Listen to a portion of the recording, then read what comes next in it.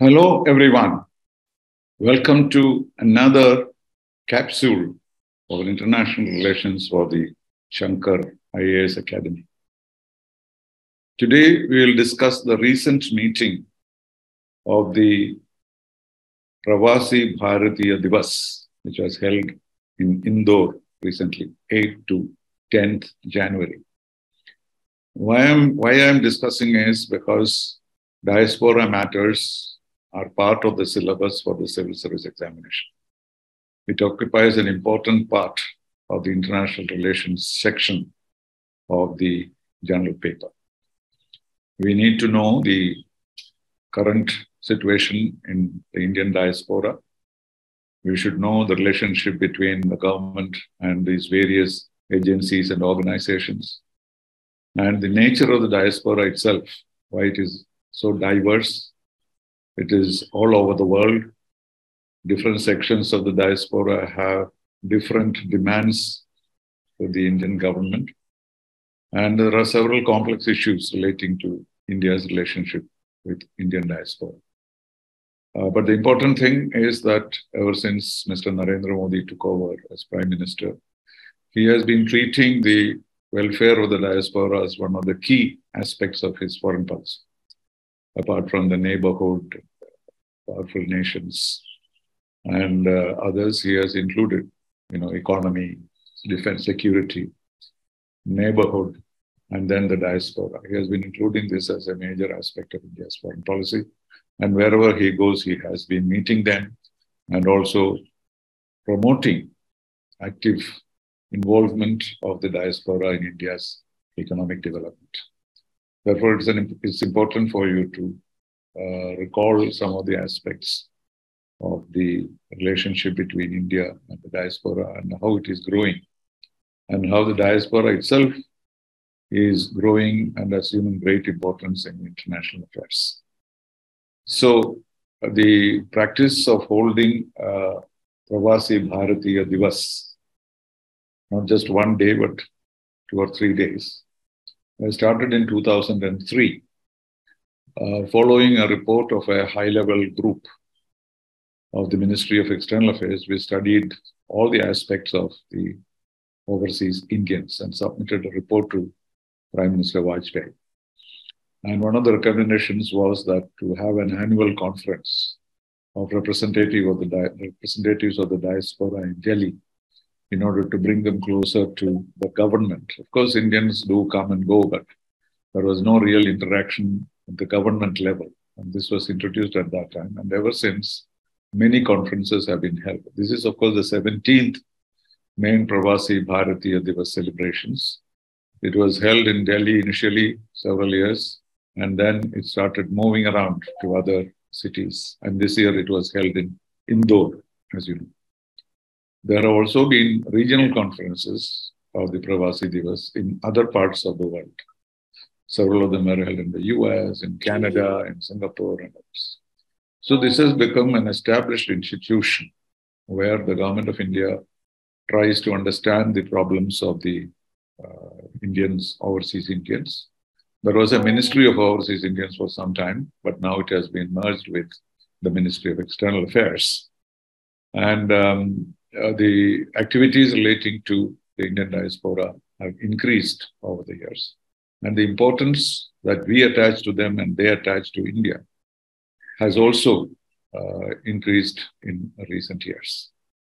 So, the purpose of the Pravasi Bharatiya Divas every year in January is to bring the Pravasis or the overseas Indians close to India and provide them opportunities to interact, invest, and um, visit India and to take care of their concerns. These were never taken into confidence, taken uh, seriously in the past. In fact, in, when India became independent, Prime, Prime Minister Nehru's view was that the Indians who migrate to other countries, particularly if they become citizens of those countries, their allegiance should be to the countries of their adoption, first allegiance. So he did not really expect the Indian communities abroad to be of particular assistance to India. So he said that you should owe your allegiance to country of your adoption. And uh, India, of course, will continue to remain aware and conscious of your welfare and interests. So that was the formula he gave to the parliament, how we should develop our relations with the diaspora. It is unlike the Chinese who uh, treated their diaspora abroad as citizens of their own country, and they demanded much from the diaspora in the initial stages. It was Mr. Rajiv Gandhi who uh, started the idea of using talented Indians abroad to come to India and help India in its development. Sam Pitroda is a well known case where he, he gave up his very um, you know uh, prosperous uh, work in the United States, came to India and changed the face of Indian telecommunication system. There have been others, and he was generally expecting Indians abroad come to come to India and provide technology, give assistance to the government, and even invest in India. So this priority changed the situation, and all embassies were asked to take special interest in the communities in those countries. Some countries are very significant, like in the United States, in the UK, in South Africa, many other countries, and uh, some, of course, smaller but equally influential, etc. So, uh, Prime Minister Rajiv Gandhi decided that uh, uh, we will go to the rescue of Indians if Indians are in trouble. And Indians have been in trouble on many occasions when military coups and other disturbances take place. Indian community has suffered because the largest was in Burma, but uh, one million Indians were thrown out with just the clothes they were wearing without anything to look after themselves. And then government of India merely accommodated them in some rehabilitation project. We did not take up this matter with the government of Burma or do any protest about the kind of treatment meted out to the Indian community. That's the old story. That was 1962. But the most uh, obvious intervention by India in the matters relating to uh, Indian diaspora was at the time of the Fiji military coup, where I happened to be the Indian High Commissioner, and I had the direct uh, knowledge of the development of Indian policy towards Fiji. Because generally, we would have simply given visa to any Fiji Indian to come back to India and settle here and nothing more. But Mr. Rajiv Gandhi took a very proactive position. He did not recognize the military regime in Fiji even though I continued as ambassador. He imposed trade sanctions against Fiji. He raised the issue of human rights in, um, in the United Nations, uh, politically as well as on the human rights situation. And he even persuaded the Commonwealth to expel Fiji from the Commonwealth on the ground that they were practicing apartheid against the Indians. So this was a dramatic change in our situation. And now the policy is that India will stand by Indians anywhere in the world and try to resolve their issues and not just hands off uh, kind of approach. Now, mercifully, not many other issues have come up since then, but the cooperation between Indian diaspora and the government of India has been strengthened, and uh, generally, Indians are happy that uh, many of their problems are being solved. And in return, they are using their clout in different parts of the world in order to influence decision making. And this was particularly significant in the United States when there were serious problems between India and the United States in 1998 when we uh, experimented, we exploded five bombs and declared ourselves a nuclear weapon state months together. There was no communication with the United States. They were very angry. President Clinton wanted to come down like a ton of bricks on the government of India. All this happened. It was after two years of negotiations and discussions, etc., we resolved that problem and uh, India and the United States came to an understanding. But that was a very difficult period where when we needed the support of the very influential Indian community in the United States. Again, I was there at that time, and we were very much engaged in converting and telling our Indians to work hard in order to make our issues understood in the American public. Because earlier, like the time of uh, emergency, etc., it was the Indian community which opposed government of India more than the others, and because they felt that India was abandoning democracy, etc., etc. So after those days were over, when India tested the nuclear weapons, the the, the wind started blowing differently because the Indians felt proud of India's achievements and they felt that the United States was being unduly critical of India. And therefore, they started their lobbying work for India in a very extensive manner. Of course, by the time we had set up an Indian uh, lobby within the US Congress and the Senate, what is called the India Caucus. And there are a number of uh, senators and congressmen who were autom- automatically support the Indian position in the American legislature. And that was a very strong point for us. And finally, the understanding between the United States on this issue came up, became evident uh, two years after when we signed the nuclear deal. And during that period, also, the Indians in the United States played a big role. And similarly, in other places, not to that extent, UK also, and many other countries where Indians are in uh, sizable numbers, the opinion became very important. And Prime Minister Modi's visits, uh, he gave prime importance to Indians, people of Indian origin, regardless of their citizenship today, as part of India. So this development took place uh, really after uh, the uh, Pravasi Divas was uh, started. And the date of the Pravasi Divas was uh, decided on the basis of the day uh, Mahatma Gandhi returned to India from South Africa. That was the 9th of January. Uh, 9th of January, he returned to uh, India and, of course, led the freedom movement, as we all know.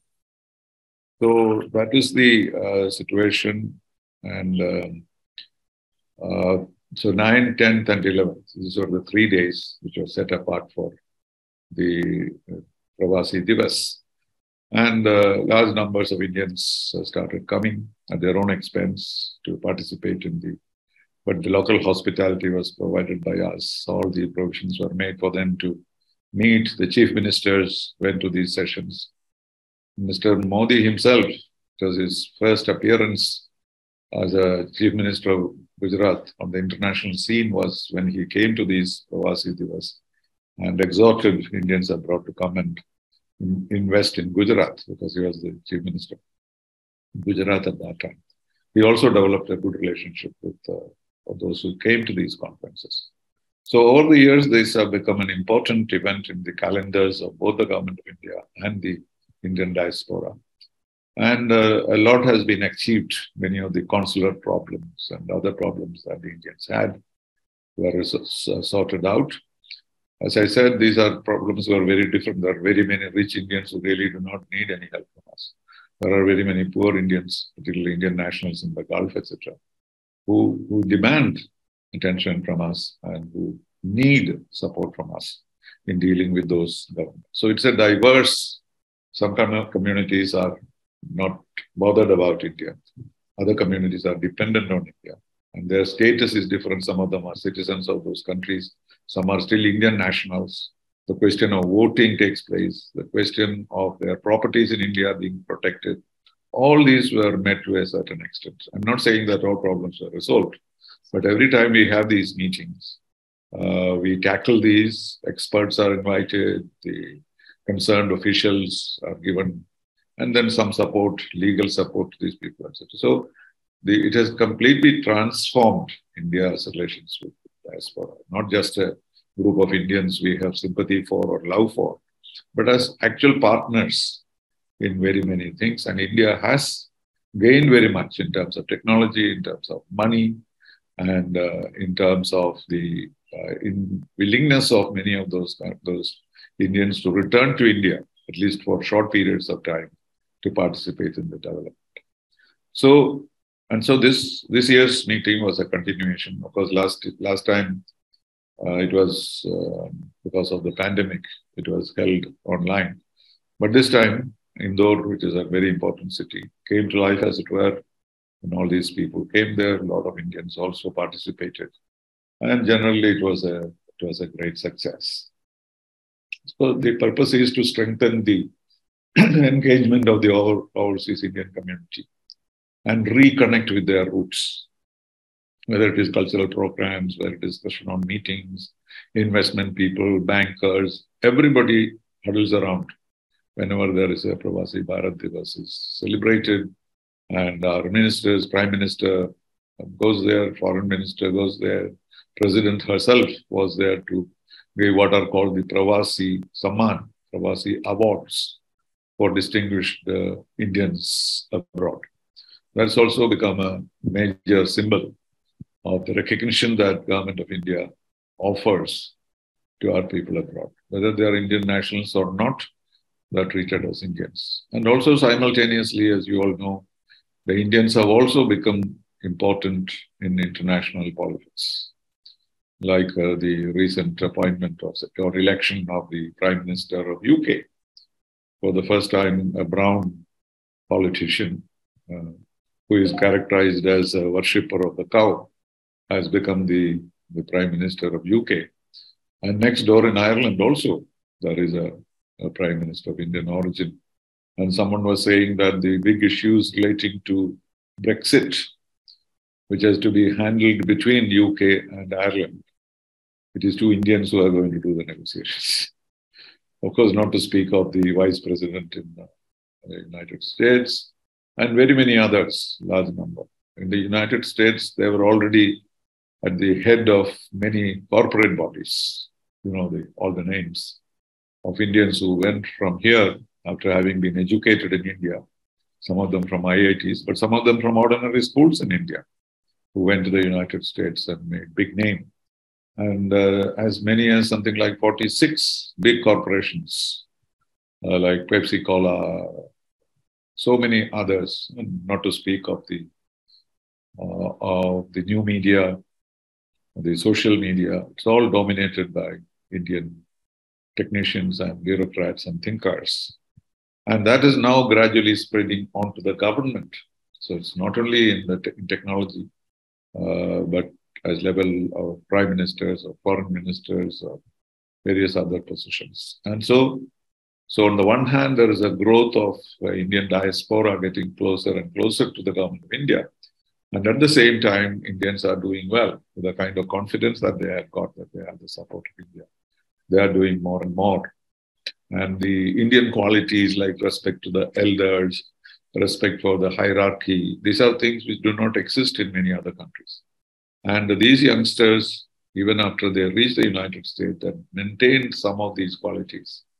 And uh, that probably contributed to their growth in the corporate world. And now from there to uh, the political fields also. Now, in the United States, there are several congressmen, um, elected congressmen, and uh, the number is growing.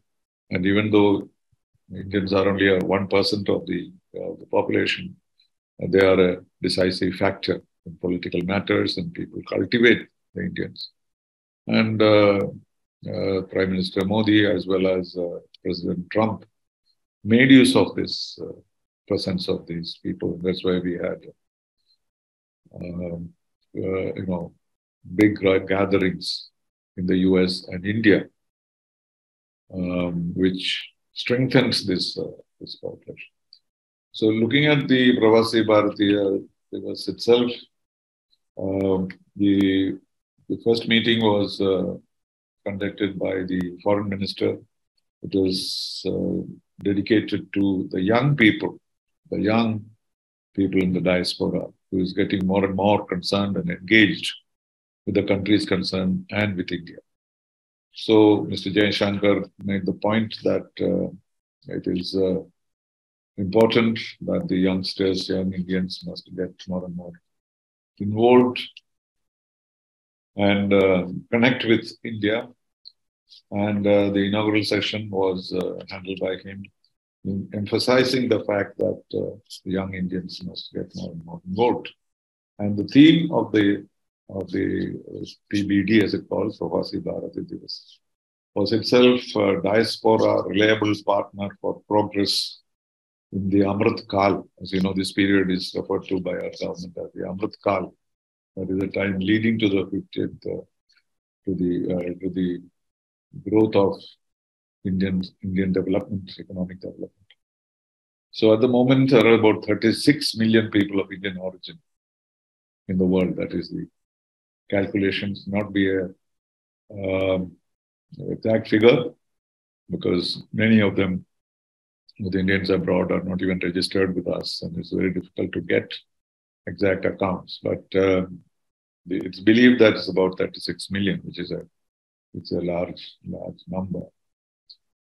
So Mr. Vajpayee said in 2017 that uh, this is a relationship of blood, not passports. Khoon, he said, not passports. So this relationship, it's, you know, goes beyond what the color of their passports, but what matters is the culture that they carry with them. So they could be in any country, hold any passports, but uh, easier exposure to Indian culture. And that is something which we have accomplished. So more and more young Indians are coming to India, uh, if not for anything else, to trace their roots. And uh, even the centers of faith, you know, wherever you go, whichever country you go, you find Hindu temples and other uh, Sikh gurudwaras, etc. So even the faith is uh, is growing, and uh, India has the largest diaspora in the world, and also the most talented diaspora. Well, not only rich, but also cultured, educated, etc. So uh, we believe that uh, the Indian diaspora is the only empire on which the sun never sets. The British used to say that the British Empire sun never sets. But uh, if you look at the world altogether, you will find that when it is dark in one part of the world, it is light on the other. On both sides, Indians are working you know, when um, in Fiji, when the farmers go to to work in the morning, they are the earliest, and therefore Indians will be sleeping. But by the time they come back from work, you will see that in California, Indians are driving towards their work. So they never, the community as a whole never sleeps. They're always working for themselves and also for the for the country. And um, a lot of issues were dealt with and uh, in uh, Indore. And um, of course, there are there are several issues yet to be resolved for which government the government has been working with them, and there is increasing confidence in um, the solutions. But uh, I would not say everything is resolved. There are difficulties about uh, investments in India. There are people who come to the uh, PBD and complain about the amounts of money they lost in one part of the state or the other, the humiliation they had to face at the uh, customs and the airport, and people not recognizing the uh, overseas Indian certification that we give to prove their they still want because there is a PIO card, that's a person of Indian origin card, which was given uh, to identify them as Indians. And then it was strengthened to make it overseas Indian citizens of it, citizens of India. Another higher level. But still people are not satisfied because they want dual nationality. So dual nationality exists only in some countries of the world, like United States or UK or Israel. Not all developing countries, hardly any does that. Because of our own history and our own system, because if you talk about Indian origin people, you know, Pakistan, Bangladesh, Sri Lanka, all these get, get mixed up. And so giving um, dual citizenship is not only against the constitutional requirement of India, because we believe that the loyalty of Indians should not be divided. You can't have two passports. Passports are more than mere uh, symbols. Uh, you get attached to your passport, and so your loyalty can be divided. And also the practical problems. So who is Indian? who can be given the passport, etc., etc. So this has not been uh, resolved, uh, but this overseas Indian uh, passport that uh, they are holding together with their foreign passports has helped in many ways, though there have been difficulties. So, on the one hand, you have the Indians themselves growing in stature all around the world. On the other hand, India becoming more solicitous towards the Indians abroad and giving them benefits of various kinds. And um, every time we hold a Pravasi Bharatiya Divas like this happened this time, there is greater understanding, there is greater involvement of the politi- politicians of India in the affairs of this. And so they, they feel, and it's of course a photo opportunity. People get pictures with the prime minister and the president. And these awards are very highly valued by these Indians abroad, not only for their work abroad, but also for India and people who do humanitarian work, people do people who work with the less privileged communities. There was someone who was engaged in burying Indian dead bodies by himself. Uh, doing that kind of work was recognized not only millionaires, but others are also recognized in this whole process. So it's a very healthy growth of uh, Indian diaspora. It has benefited them because they have more possibilities of representing their case to government of India and expect them to be problems to be resolved. And on the other hand, India has this rich resource of people abroad, particularly in democracies, where they are able to influence decision making. As I mentioned, the caucus India caucus in, uh, in the Congress and the Senate. In Senate, it was actually headed by Hillary Clinton at one time. And they are automatically friends of India. And they operate, and we, the embassy operates through their friends, their Indian friends, to the congressmen and senators. And when an Indian friend tells, Indian doctor, for example, tells his client who is a congressman to join the Indian caucus, they do so.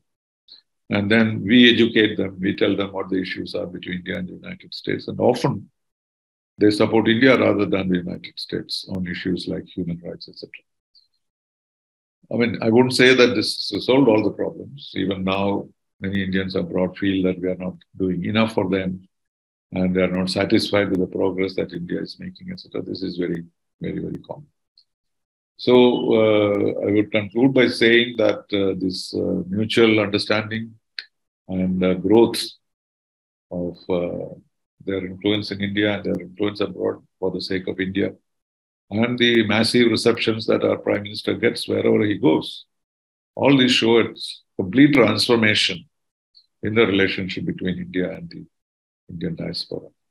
And I'm sure it must have been strengthened by the various documents issued, approved, decisions taken, interactions, etc. All these must have um, had another uh, impact.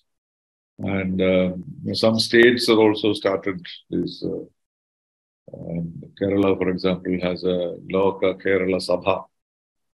Many people have been designated as Indian, um, not necessarily Indian citizens, who Indians who automatically support Kerala in investment, etc. And they all come and they try to be try to be helpful. So this is a success story. India's relations with diaspora. And started by several governments, and now these days all parties are unanimous on one thing that we must take care of the welfare of the diaspora. Whatever change in government may take place, this will remain constant, as we have seen at the time of Rajiv Gandhi, and we have seen it at the time of uh, uh, Mr. Atal Bihari Vajpayee, even more uh, under Mr. Modi.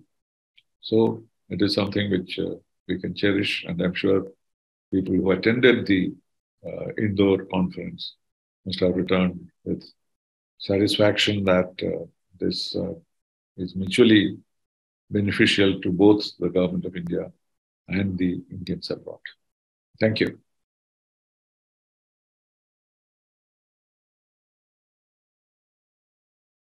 Well, the experience is the opposite. All these countries respect the way in which India is supporting their countries. It is not in conflict with their countries itself. Uh, you know, President Biden recently talked about the great revolution that Indian community has brought about. How it is, he said, from day to day, US progress is being supported by the Indians. He mentioned specific names, etc.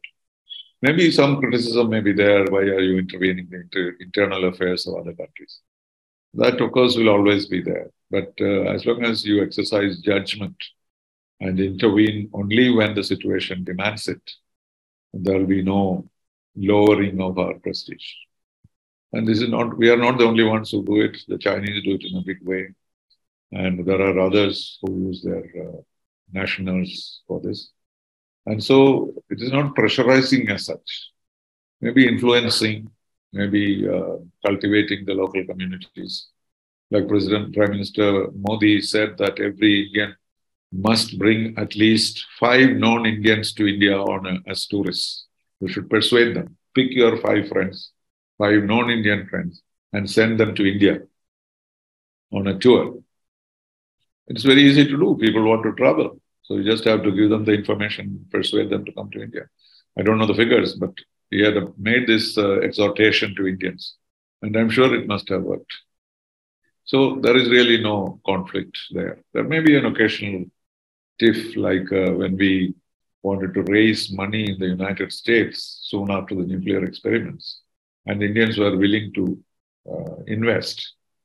And we were giving them a very high interest rate, 18% even at that time. And um, then there was some problem because uh, people started asking why only some people are allowed to contribute. Only Indian origin is only allowed. Why not the others? So, so this kind of discriminatory charges have come. But these have all been dealt with. So no concern about that.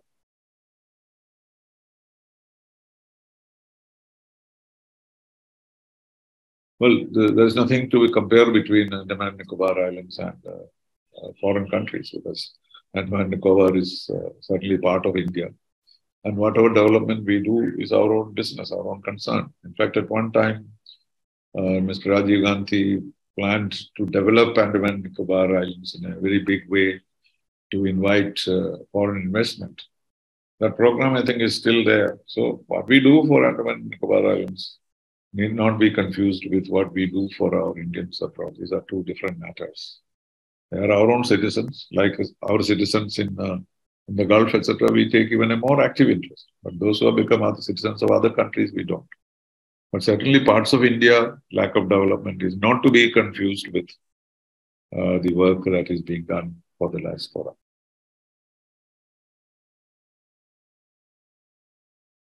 Maybe you are reading something which appears in my Wikipedia entry, which I did not write. It talks about first class and third class and all that. It's all very wrong. I had told them to correct it, but they have not been able to correct it because I cannot correct it myself. Somebody else has to correct it. Maybe you're referring to that. I don't know. But there are, otherwise, there is no such thing as first class secretary and third class secretary. There are say, first secretaries and third secretaries and so on. And when you join the foreign service, you start as a third secretary and you go up the ladder. Uh, but somebody made a mistake and entered it as uh, different classes. So it has to be corrected, but I'm still trying to correct it.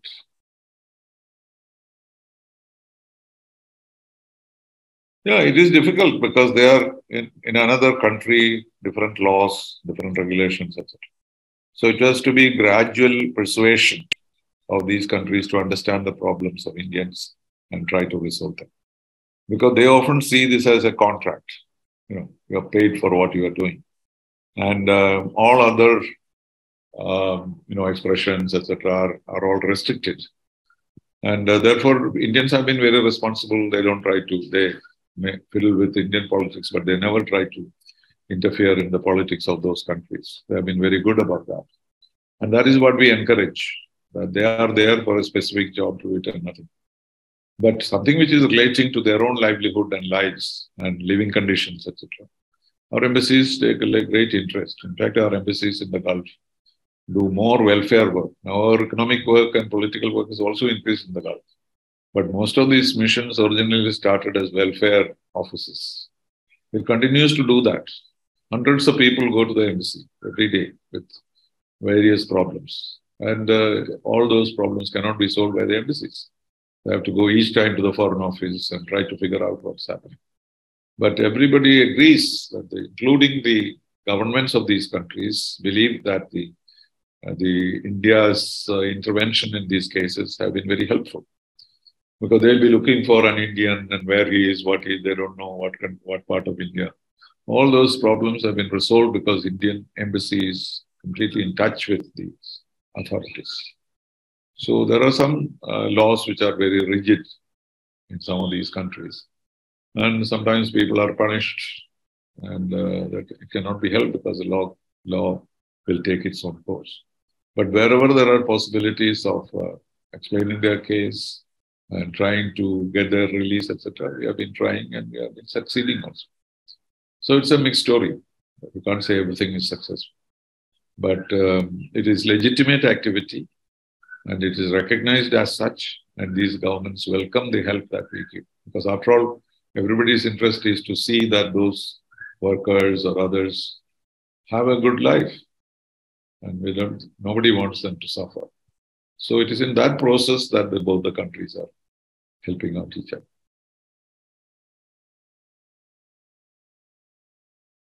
One thing that is uh, become very clear after the pandemic is that uh, the work from home idea is gaining ground because people are finding it very advantageous in many ways. It reduces travel, it reduces expenditure, it reduces uh, broken uh, homes. All this uh, has uh, shown that there are benefits. But at the same time, many people like to travel rather than stay at home. Because why do people go abroad? Not simply to earn money, but also to have the cultural experience of those countries on the one hand. And on the other, get their benefits. So you become permanent uh, residents or you become citizens and so on. So that will also reduce. I think visas from developed countries will reduce because they will say there is no need for you to come to United States. You can work from home. And that's not entirely satisfactory from our point of view. So the migration will probably reduce as a result of the work from home and online education. Like, for example, they may say, Why do you need a visa to come to the US to study? We will give you the material in India. So this may strengthen. But as of now, the, it has not reduced. Even after the pandemic, it has only increased the presence of Indians abroad. They, of course, uh, all of them came away uh, worried about what might happen to them or their families. But most of them have returned. So this will continue. It will be a, a kind of a dual arrangement and hybrid, as we call it. So people work from home and also people go to the offices and get the benefit of both. Thank you.